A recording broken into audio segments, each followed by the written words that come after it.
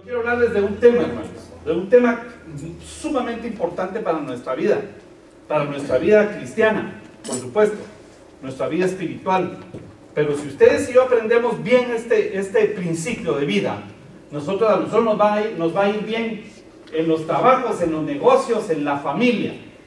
¿Ok? Este es un tema que, que la verdad, yo quiero compartírselos por varias razones.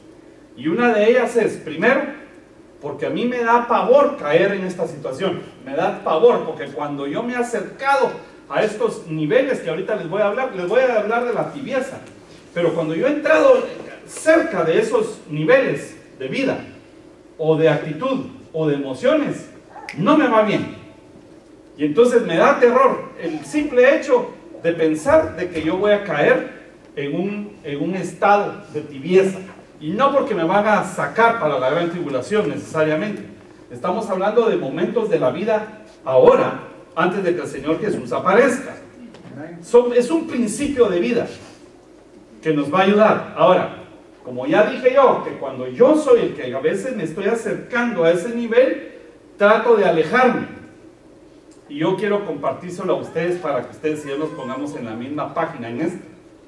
Para que a ustedes les traiga un beneficio que yo he encontrado en este principio y que, y que muchas veces cuando yo me recuerdo de esto, me ayuda a que las cosas resulten con mejor para mí o tengan mejor resultado cuando hago algo. ¿De acuerdo? Todos los que estamos aquí corremos ese riesgo, todos.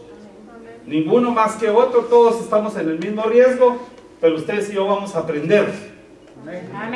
Este tema de hoy se llama Yo no voy a ser un mediocre.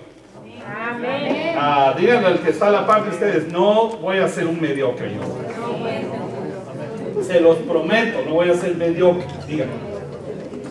Vale, ahora no lo repitan, pero, yo no voy a ser, yo no quiero ser un padre mediocre.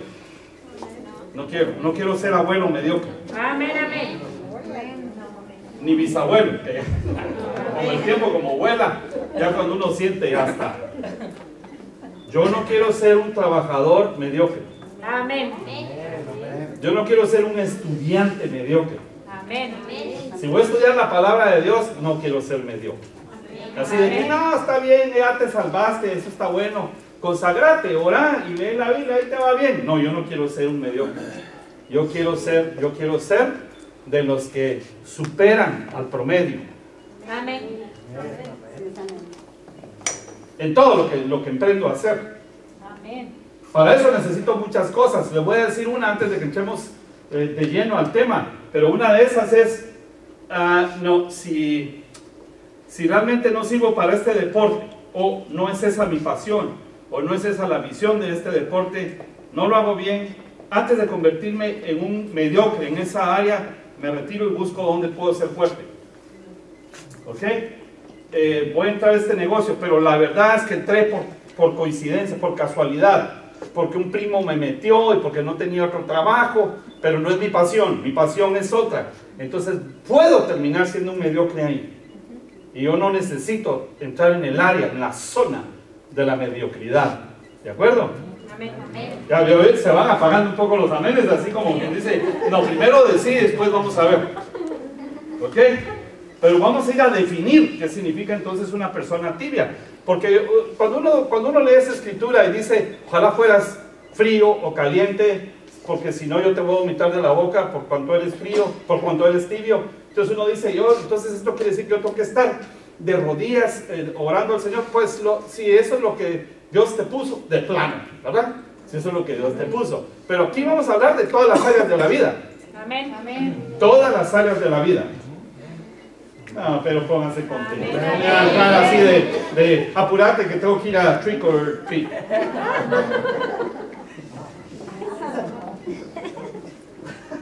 Señor reprenda al, al diablo Amén. y a las brujas.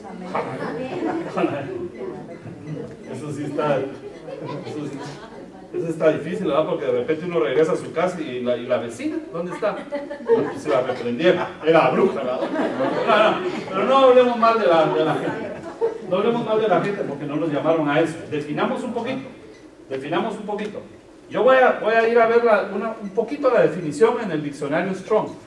Este diccionario es el diccionario que nos da las definiciones o la traducción literal eventualmente, figurativamente también, de la- del griego cuando es el Nuevo Testamento y del hebreo cuando es el Antiguo Testamento. Yo les recomiendo que se busquen este, este diccionario Strong, ¿ok? Principalmente para sus Biblias. Y si no, después yo les doy sitios de internet donde ustedes están, yo estoy predicando, ustedes están en internet y de una vez están viendo si estoy diciendo la verdad o no. Así es ahora la predicación, ¿verdad? Los pastores están hablando a veces cosas que eran mitos y allá abajo hay uno inteligente que se metió a ver, ah, le bajó la persiana, ya no le hicieron caso. Pero con- como ustedes y yo queremos aprender bien la palabra de Dios, no vamos a ser mediocres. Uh, entonces tenemos que ir a ver qué es lo que está pasando. Y entonces esta, esta palabra metafóricamente significa esto. Miren pues, miren esto. Dice, es la condición del alma que miserablemente, miserablemente, está hablando del alma, del tibio, miserablemente fluctuando, quiere decir moviéndose de un lugar a otro, entre un letargo, es un letargo que es un enlentecimiento, un adormecimiento, ese es un letargo. A veces nosotros cuando estamos cansados nos podría agarrar un letargo de, de cansancio y de repente cabecear. Eso no me molesta a mí, dicho sea de paso. Cuando ustedes vengan aquí cansados y se me duermen, no crean que yo me moleste. Al contrario, yo digo, este viene cansado, pero vino. Les digo porque yo he estado sentado ahí. Y, una vez, porque yo ponía bastante atención cuando mi pastor predicaba. No, hablando en serio. Una vez sentado ahí, yo tenía gripe. Y me tomé un par de tabletas de. de es Alka-Seltzer Cold, creo ahora, pero es Tapsin, de donde yo vengo. Se llama Tapsin. Entonces tiene un antihistamínico que da sueño. Hay antihistamínicos que no dan sueño, antialérgicos, como Claritin. A nosotros. ya por si, por si quieren pagar algunas, algunos derechos de que los anunciemos. Pero ese da sueño. Y yo con gripe, me tomé dos y me senté en la segunda fila. Y cuando él empezó a predicar, yo ya no, no aguantaba. Y cuando él pasaba, decía, me está viendo. Y de repente me quedaba. Y de repente alguien gritaba a él o mataba algo. Yo, ¿qué pasó? Me dio tanta pena, ¿verdad? Esa vez. Pero no fue la única vez que me dormí. Entonces yo no tengo problema si alguien viene cansado. Prefiero que venga. Y no que me diga, me fíjate que estaba cansado y me quedé. No, no, no, no, no. Así no piensan los, los que no quieren ser. Ah, no, es que ahorita sí va a estar un poquito fuerte porque ahora, ahora cada. No vayan a llegar a su casa y a decirle a sus hijos, estudiar, no seas mediocre. No, no vamos a agarrar a nuestros hijos. No vamos a hacer así a nuestros hijos. Por lo menos podemos decir, miren, en esta casa podríamos pactar de que no vamos a ser mediocres. Eso debería hacer un, un- un padre o un hijo en su casa, decir, hey, ¿saben qué? No vamos a ser mediocres en nada, en lo que emprendamos. Voy a ser esposa, voy a ser esposa pasional Amén. por este muchachón. Amén. Díganme, amén, señoras. Díganme. Por su muchachonote que tienen allá a la pata. Amén. Su cotutuy. O como le digan, ¿verdad? Como le digan. Un día vamos a, poner en confesión a todos, a ver cómo dicen ya cuando no están aquí, ¿va? Véngase mi, pelito de elote. Bueno, ok, entonces fíjense pues hermanos. Esto es el fluctuar, quiere decir moverse de un lugar a otro. Fluctuar de un letargo, ¿ok? Y un fervor de amor. Es decir, un día est- está apasionado y siente que está volcándose en amor a, alguien, o a Dios, o a la palabra, o a su iglesia, o, a, su, a sus hijos, o a su papá. Y al otro día tiene un letargo. Dice, pero ¿qué pasó? ¿Y qué pasó de, de ayer para hoy? ¿Qué pasó de hace un par de horas para hoy? O eso lo podría decir un jefe, ¿verdad? Es decir, este cuando vino a las entrevistas lo vio, pero que ya, ya me comía, sentía que me quitaba la silla. Y ahora, el letargo total. Nosotros tenemos que tener cuidado, hermanos. Vamos a tener nosotros criterios como lo que empezamos lo vamos a terminar. Amén. Si es que esa es nuestra pasión. Porque así es el Señor Jesús. Dice, el que empezó la buena obra la va a perfeccionar. O sea, que Cristo no se olvidó de nosotros. ¿Por qué? Porque Él no es... No, si ese es el mero, mero campeón, hombre. Ese es el mero, campeón. Entonces es fluctuar de un lugar a otro. Cuando estoy ferviente en algo y cuando estoy que ni siquiera atención pongo en las cosas. Aquí estoy muy comunicativo, aquí no quiero hablar nada. Eso es un poquito complicado, hermanos, porque la persona que es así tiende a ser, a, moverse con el fenómeno del péndulo. Sí, saben que es un péndulo, ¿verdad? Péndulo es esa, es- como solo dos dijeron amén. Amén, amén. Péndulo. Es una esdrújula. Péndulo. ¿Cuál es el efecto del péndulo? Mi amor, yo como te quiero, eh, eh, yo no puedo vivir sin ti. Y entonces, ay sí, pero ahorita déjame. Uh, y una vez al otro lado del péndulo. Y entonces ahora ya ni le hablo. Hasta le hace caras. Ni siquiera ni se va y dice nada. Hermanos amados, el efecto del péndulo es terrible. El efecto del péndulo es terrible. Porque la gente que, que fluctúa así, de un extremo a otro, es una persona tibia. Eso es lo que dice esta definición, eso no lo digo yo. Eso es lo que dice el diccionario que significa esta palabra. ¿Ok? Y esta palabra nos da la definición o nos está describiendo prácticamente una persona eh, mediocre. Pero no estamos hablando de nadie, de ninguno de aquí, porque ustedes y yo no somos, no somos. Y tenemos que distinguirnos como tales. Hasta que un día, hasta que un día digan de esta iglesia, es que en esta iglesia no hay mediocres. Amén, amén. Yo lo que encendemos la luz para que no se me vayan a letargar. No, se mentira, no, no. No, no, no. Entonces, fíjense ustedes, son los extremos. Hoy está entusiasmado, mañana está desanimado. Si no, es que así es como funcionan incluso las personas depresivas bipolares.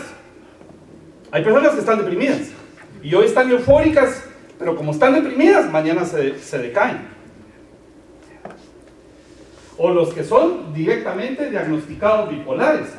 Hoy te quiere, mañana te odia, como dice la canción. ¿Ah? ¿Cuál canción? va? Pásenme el link de YouTube. Entonces, entonces fíjense, hoy está contento y mañana está triste. Efecto del péndulo, tibio, mediocre. Una persona mediocre es así.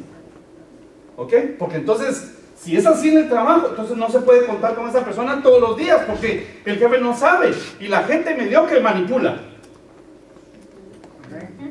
Manipula. Porque dice, ya, ya, ya, ya lo tengo bien al jefe medido. Entonces lo que tengo que hacer es ponérmele un poquito bajo para que entonces venga y me ruegue. Yo les digo porque yo, yo tuve mucha gente a mi cargo por un tiempo. Y a veces me daba terror de que un buen elemento se me vaya porque no traía una buena actitud. Y decía, no, este lo que tiene es que es fluctúa. Es una persona tibia, es una persona mediocre. No puedo tener una persona así.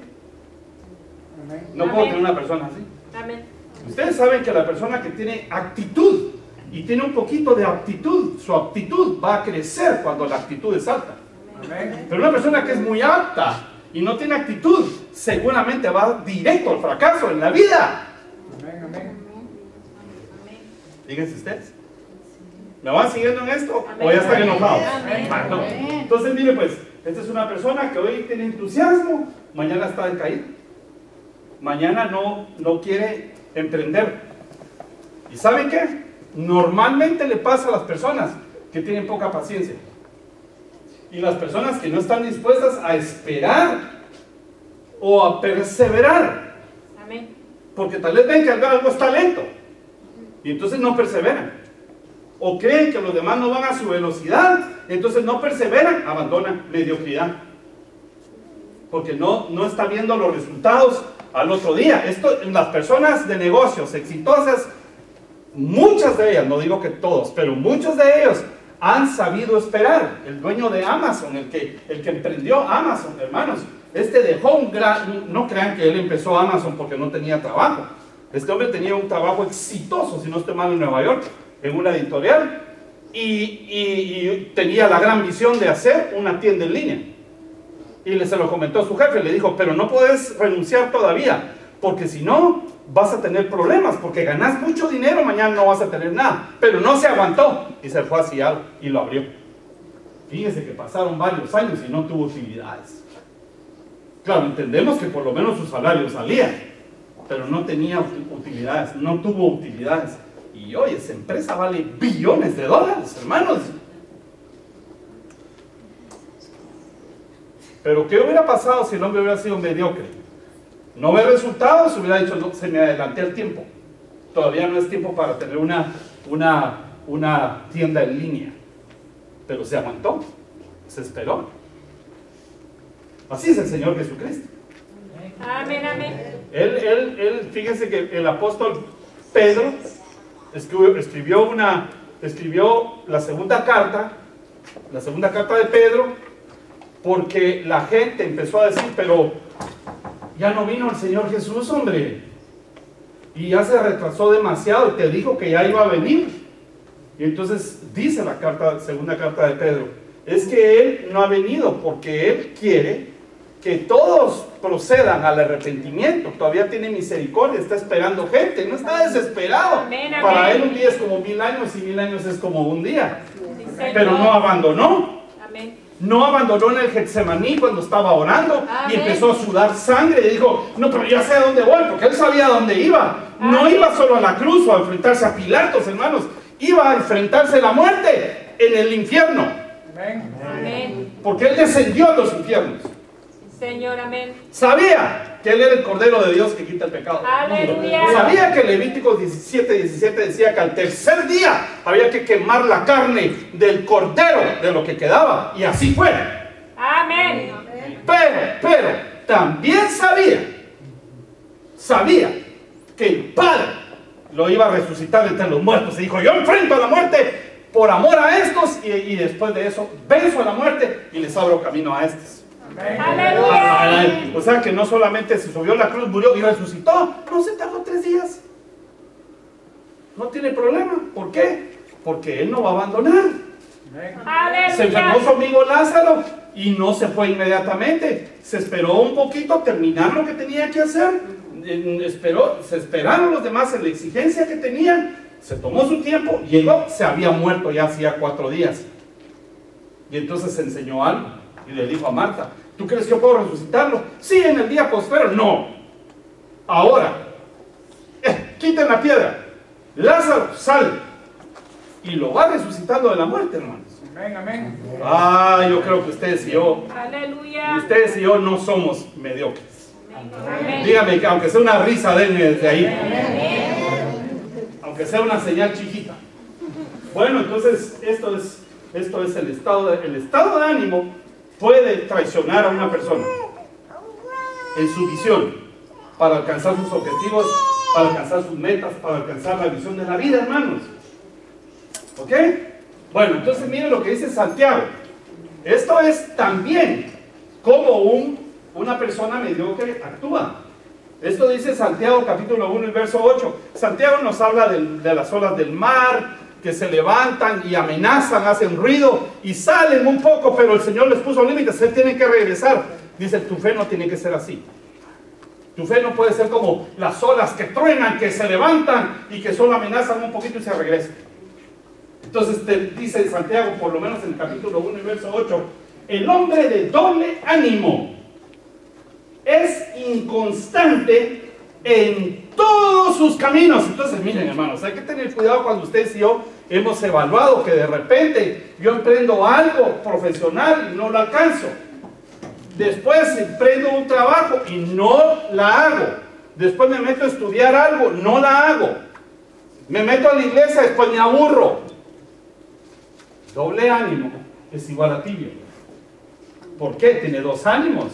Un día está fervien- fervientemente amando las cosas de, de Dios o su trabajo y el otro día está odiándolo o está irritado o está de- decaído. El de doble ánimo fluctúa.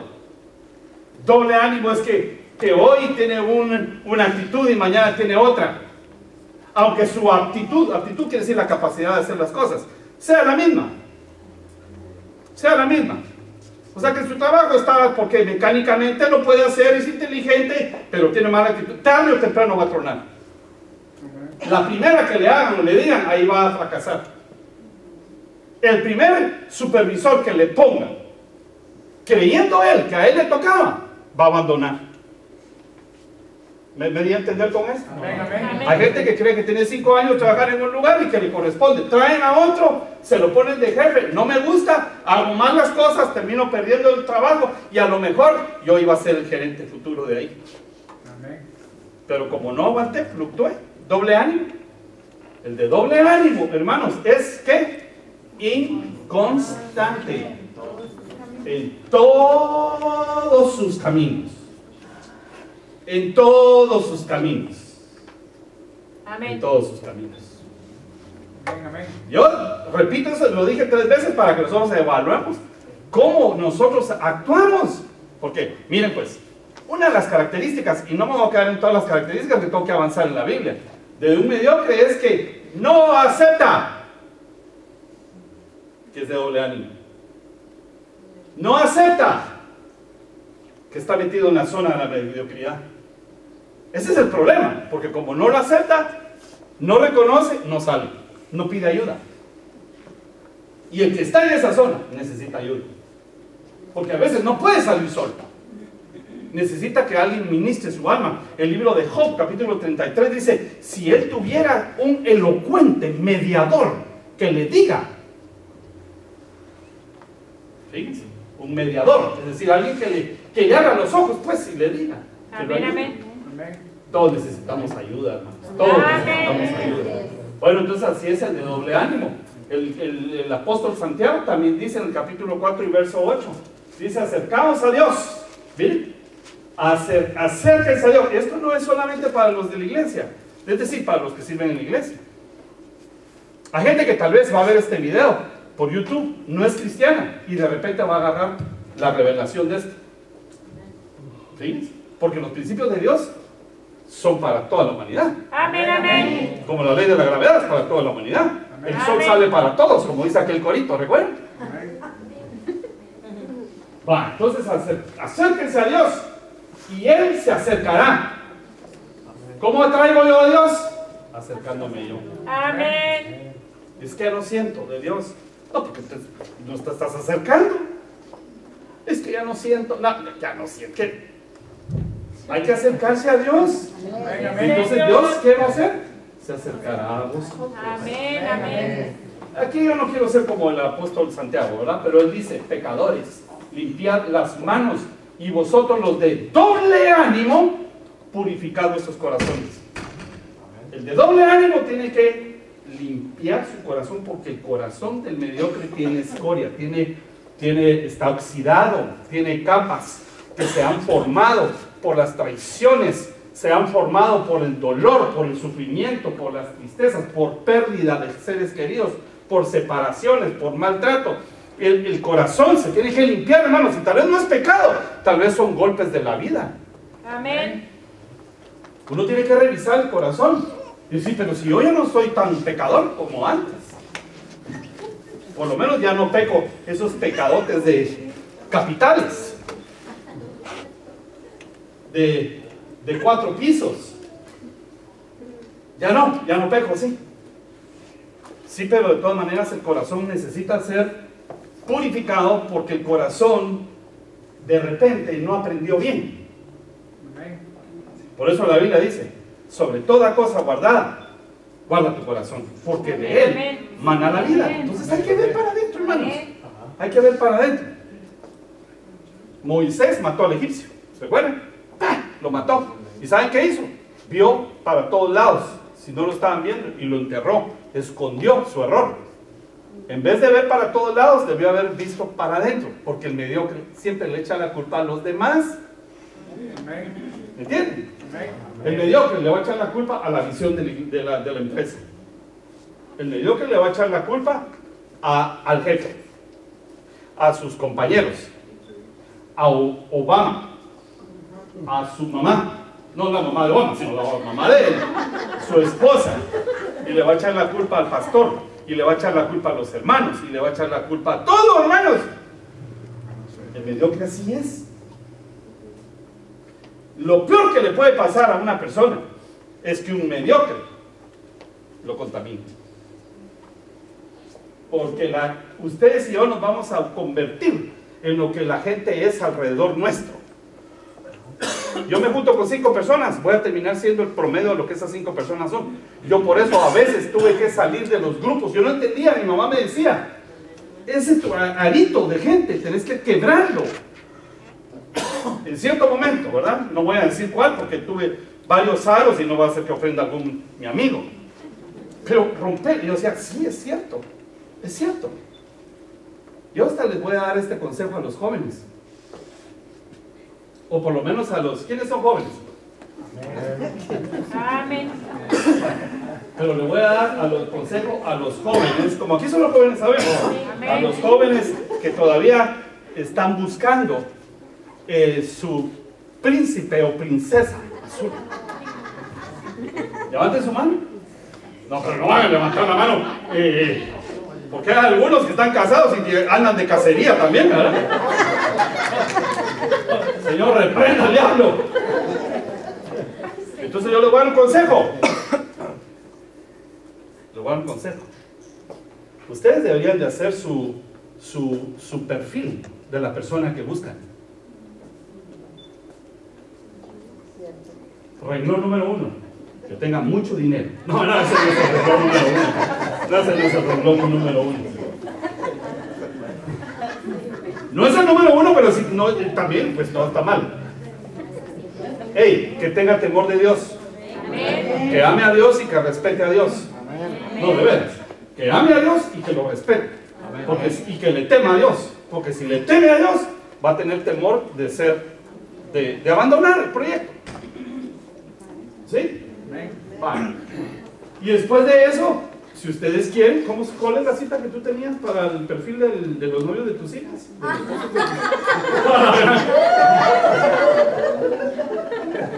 ¿Cómo es esa cita? ¿No te recuerdas?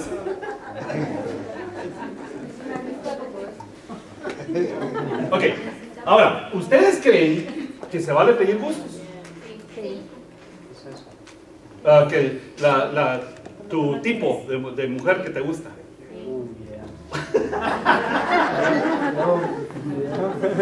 Se vale, se vale. ¿Saben por qué, hermanos?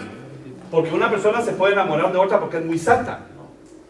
Dice, no, sé cómo, cómo danza aquí, hombre. Parece el chavo de Ruta.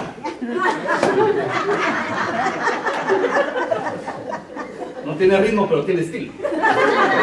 No lleva el paso, pero ¿quién, quién, quién, quién quiere llevar el paso hoy? Si es el estilo libre, libre. Pero ¿saben qué? Con esa persona va a dormir el resto de su vida. Y cuando se despierte un día, va a decir, si no era así, hombre, como yo había pensado. Ya la santidad, el, punto de santidad le va a empezar a bajar. Entonces a ver del otro lado del péndulo, yo aunque me diga mediocre, yo no sigo.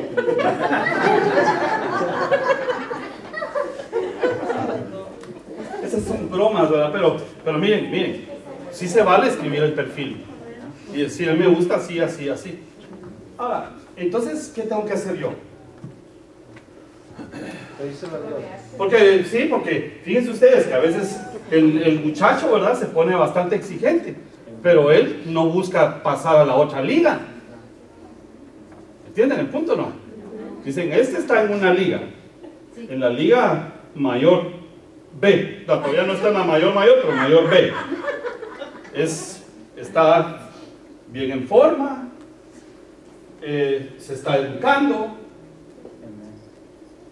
hace ejercicios, va a la iglesia, es buena gente, simpático, cariñoso.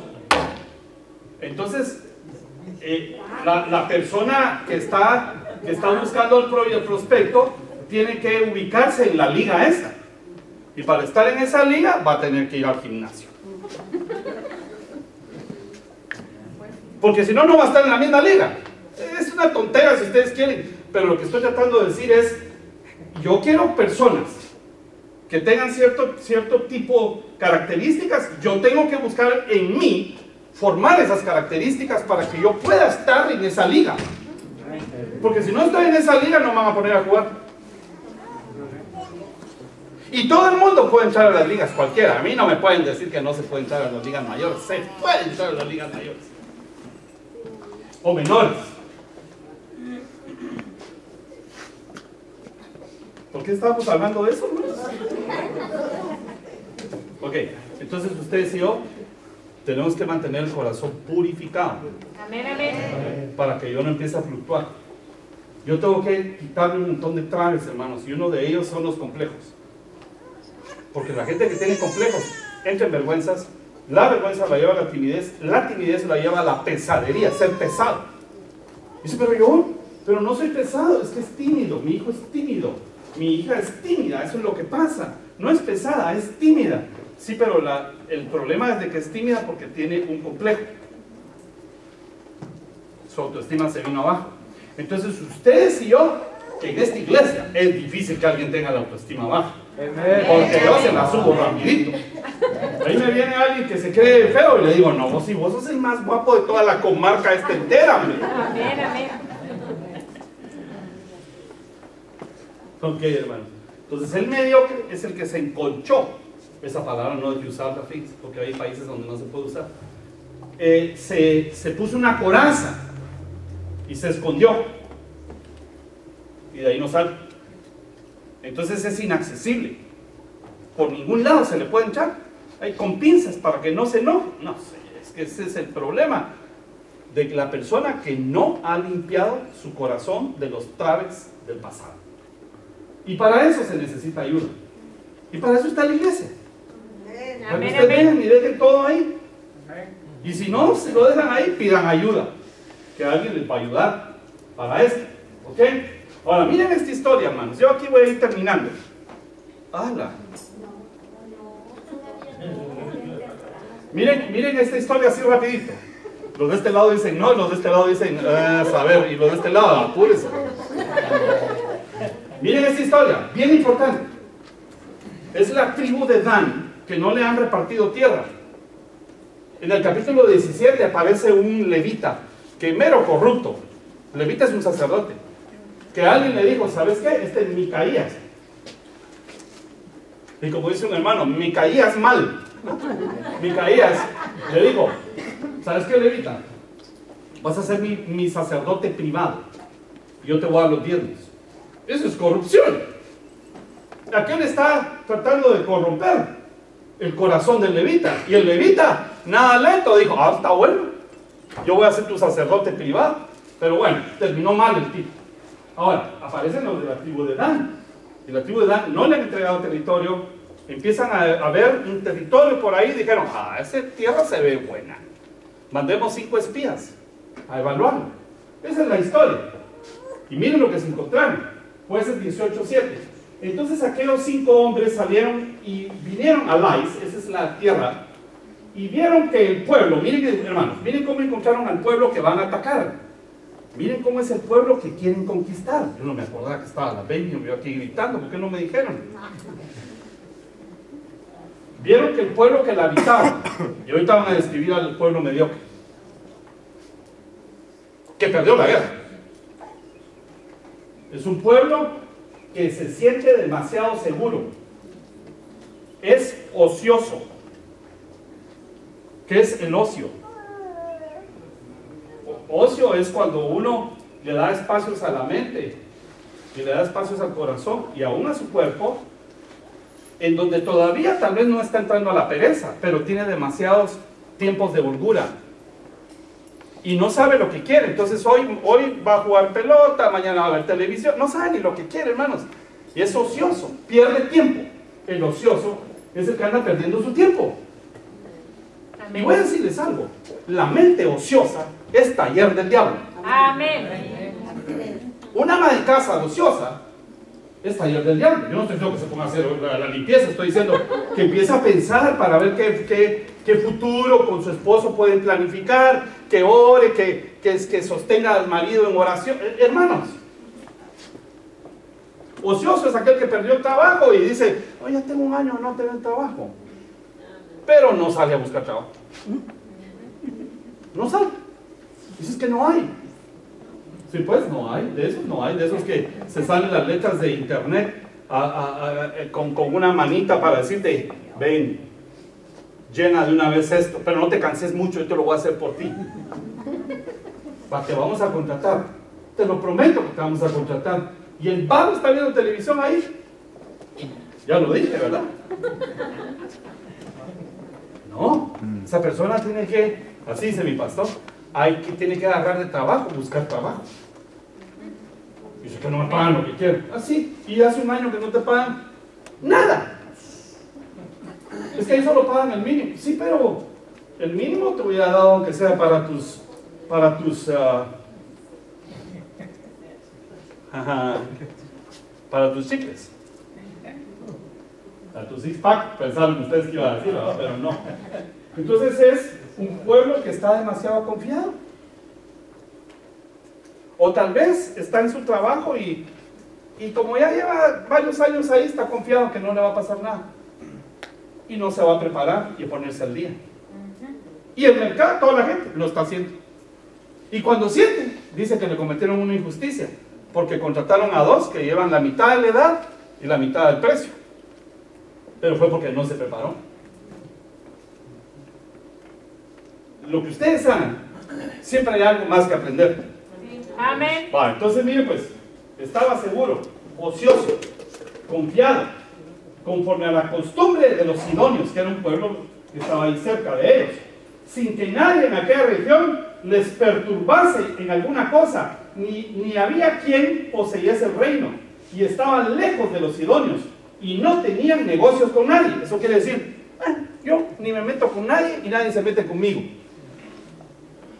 Yo iba a la iglesia, no le hablo a nadie, oigo a este señor que como grita y se sabe todas las canciones de José José y dice ahí y me voy. Pero yo compartir con la gente, olvídalo. Y no se juntan con nadie. Pero yo estoy hablando de la iglesia porque solo ahí me manejo ahora. Pero yo estoy hablando de esto, estoy hablando en todo, la comunidad, estoy hablando de los negocios. Hermanos, los business se hacen por las relaciones. No hay business sin relaciones Amén. públicas. Y estos no tenían negocios con nadie.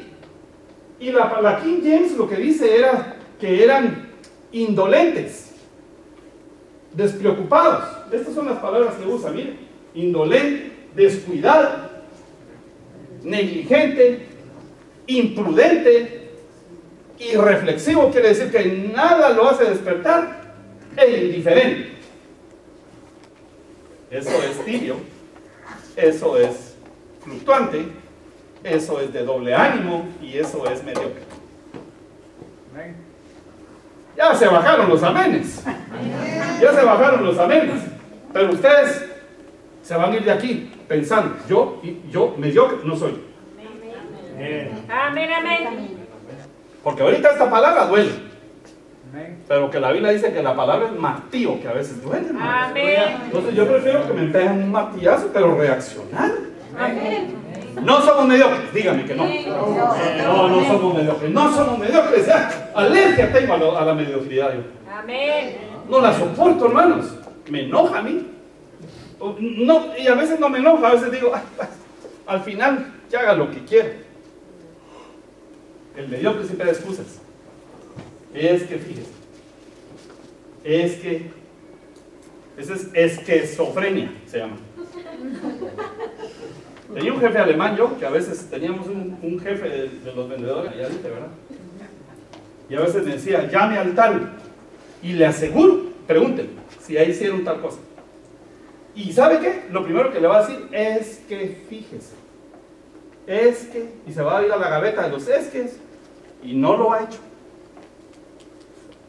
Llama, es que fíjate que, es que, es que, dice aquel. No se puede trabajar así. Siempre hay una excusa. Y buenas excusas. Enfermedades, eh, la situación, el tráfico, la familia. ¿Vale? Y dice, dice Isaías 32, 9, así es como le llama el Señor en dos ocasiones en este capítulo y uno más en Isaías. Dice, mujeres indolentes, esto es, mujeres que no se preocupan.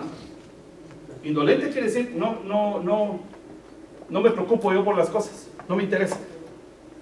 Indolente es que no le pongo atención a las cosas.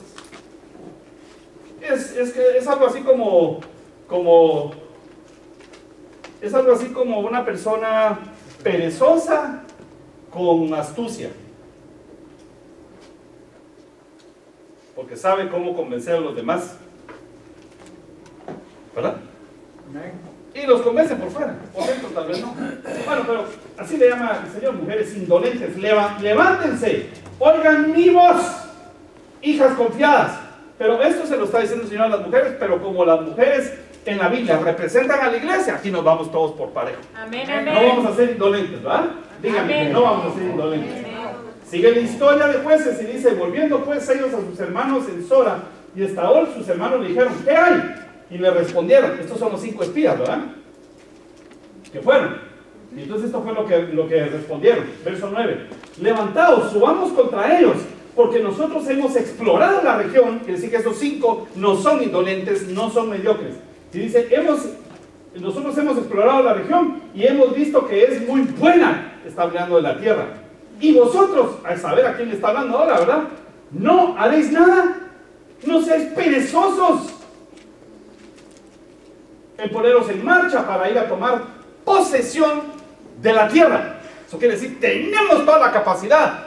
Vamos, pero no vamos a ser ociosos, no vamos a ser indolentes, no vamos a ser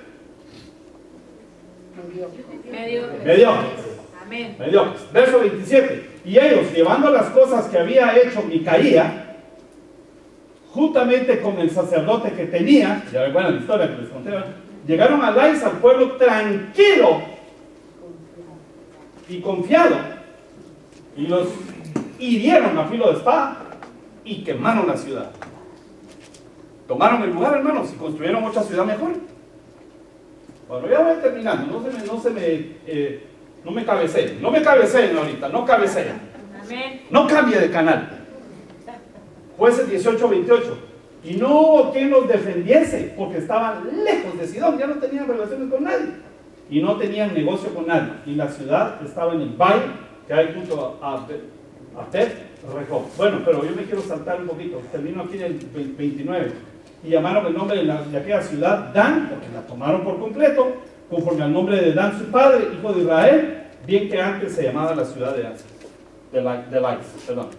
Ok, aquí, ah, aquí esto rapidito. Yo quiero que lean esto en su casa, pero les voy a dar este versículo.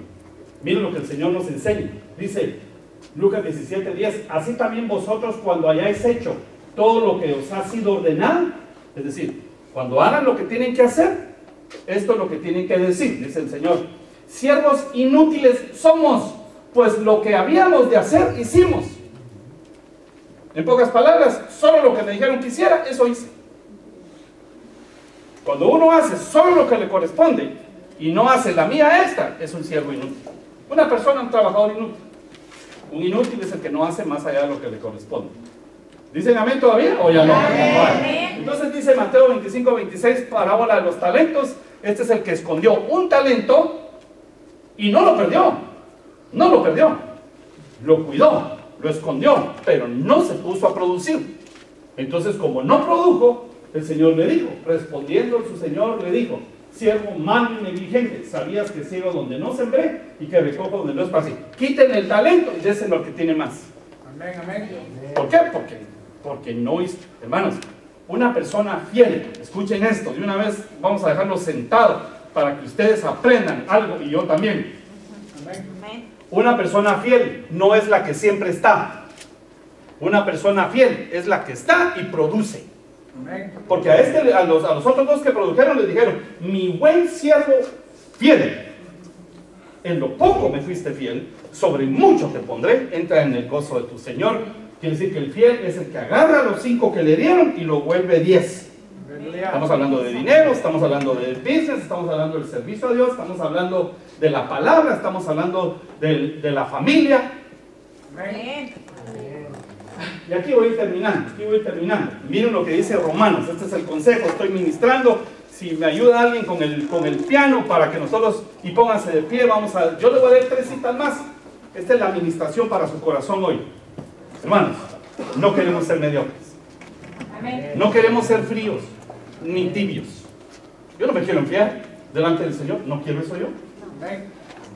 Pero tampoco quiero ser tibio. Que hoy estoy ferviente y mañana estoy decaído delante de Él. Entonces dice Romanos 12, 11, en lo que requiere diligencia, no vamos a ser perezosos. En lo que requiere que nosotros seamos diligentes, no podemos ser perezosos. Fervientes en espíritu, sirviendo al Señor. Es lo que dice. Pero ahora vamos a ver otro, otro versículo. Santiago, otra vez 5.17. Ese Santiago se las sabía todas, hermano. Elías era hombre sujeto a pasiones, semejante a las nuestras. Pero oró fervientemente para que no lloviese. Y no llovió sobre la tierra por tres años y seis meses. ¿Cómo quiere el Señor que sea nuestro corazón? Ferviente. En todo lo que hacemos. Ferviente delante de Dios. El que es ferviente delante de Dios sale de aquí y el lunes le pone el pecho al, mundo y lo, y lo conquista. Amén, amén. ¿Por qué? Ah, Porque lleva la fuerza del Espíritu, hermanos. Y cuando llega las tinieblas se hacen a un lado. Amén. Y por último, dice primera carta de Pedro 4.8. Y ante todo, tener entre vosotros ferviente amor, porque el amor cubrirá multitud de faltas, multitud de pecados. Es una cita que cuando mi esposa estaba ministrando la trajo. Hermanos, fervientes en el amor. ¿A qué? Puesto a Dios, a la palabra, servicio. Pero el amor, hermanos, el amor de un esposo a una esposa le cubre todas las faltas, Amén. errores. Si yo amo a mi esposa, no le veo errores. Amén. Así es como funciona el amor. ¿Por qué? Porque ¿qué me importa a mí sus pequeñas debilidades cuando, cuando el amor que tengo yo en mi corazón produce que yo le dé valor a él? Amén. A mi negocio va a producir pasión. Y cuando está abajo el negocio y no suelto, ¡ah! me empiezan a venir ideas. Dios me empieza a dar ideas. Y cuando siento, tengo un proyecto. Cuando siento, tengo la solución. Porque la gente de repente dice, no, no haga esto. Y ustedes ya delante de Dios dijeron, sí, así es. Y Dios me dijo, ¿por qué? Porque tiene un corazón ferviente delante de Dios. Quieren levantar las manos, hermanos. Vamos a decirle, Señor, yo no quiero ser un mediocre nada. No voy a ser mediocre, no voy a ser tibio. En nada. No voy a ser mediocre. No voy a ser un esposo mediocre. No voy a ser un padre mediocre. No voy a ser un trabajador mediocre. No voy a ser un estudiante mediocre. Señor, ayúdanos. Porque a veces nuestro, nuestra alma nos traiciona. Y a veces nuestra alma no está con el ánimo, no está con el humor, nuestra mente a veces no está, está cansada, Señor. Pero danos, danos ese amor ferviente allá en el corazón para buscarlo, cambiarlo, limpiarlo, purificarlo, Señor. Todo aquel que ha sido golpeado, Señor, en la niñez, en su corazón, y esto no lo deja desarrollarse en su vida, sánale, Señor, sus heridas. Sánale sus heridas. Si alguien quiere venir al frente y postrarse en este altar, puede hacerlo, hermanos. Este es lo lindo de, esta, de, la casa del Señor, que, que aquí se puede venir y nadie está criticando a nadie. Aquí es donde uno puede soltar las cargas. Es donde puede pedirle a Dios que le, que le encienda el corazón y el espíritu para convertirnos en personas fervientes. Señor, no vamos a ser fluctuantes ni de doble ánimo. No vamos a ser tibios, Señor, ni vamos a ser mediocres. Vamos a ser, Señor, hijos tuyos, llenos del Espíritu Santo, que caminan por el mundo con poder y autoridad que viene de lo alto y no tomada del conocimiento humano, ni la inteligencia ni la sabiduría humana. Señor, ayúdanos, Señor bendito, ayúdanos, ayúdanos. Clama por tu vida, hermano y hermana. Si estás en esa zona, dile, Señor, yo no voy a hacer esto. No voy a ser mediocre, yo salgo de aquí. Yo renuncio a la mediocridad. Si tú quieres decir conmigo, vamos a decirle, Señor Jesús, renuncio a la mediocridad. No acepto la mediocridad. En mi casa, Señor, no habrá mediocridad en nada. Gracias, Señor. Te amamos, te alabamos, te bendecimos. Te damos gloria, te damos honra. Tú eres el que levanta, Señor, nuestra cabeza. Tú eres el que levanta nuestro espíritu. Tú eres el que levanta el ánimo. Gracias, Señor. Que este pueblo bendito, Señor, en todo lo que haga, sea victorioso. Que todo lo que emprenda, Señor, tenga éxito. Porque tú, Señor, estarás con ellos.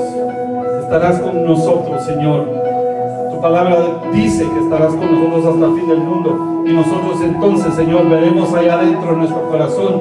Cuando tú estás ahí palpitando, haciendo palpitar mi corazón, que no seremos mediocres, amado.